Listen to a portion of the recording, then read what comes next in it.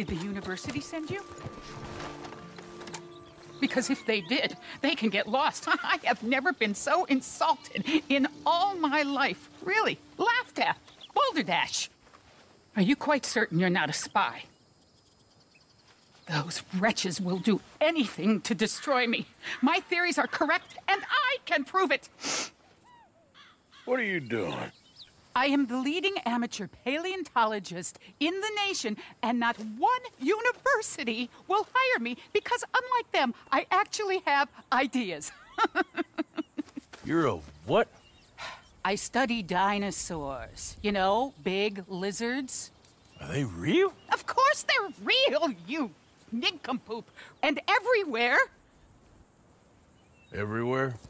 This state was once a vast, shallow sea that had the most incredible animal that could walk, swim, and fly. Quite unique. I call it Totalisaurus. Just for now. um, I'm trying to gather all the evidence. Miss Deborah MacGuiness, Arthur. good to meet you. Uh, could you give me a hand here, please? Of course. yeah. Listen, if you find any of these bones around the country, send them to my homestead at Furwood Rise in Cumberland Forest. Or mail me the locations. I'll reward you handsomely for your efforts.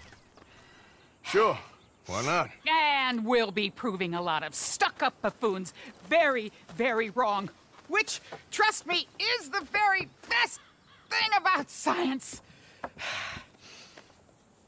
Good day to you, sir!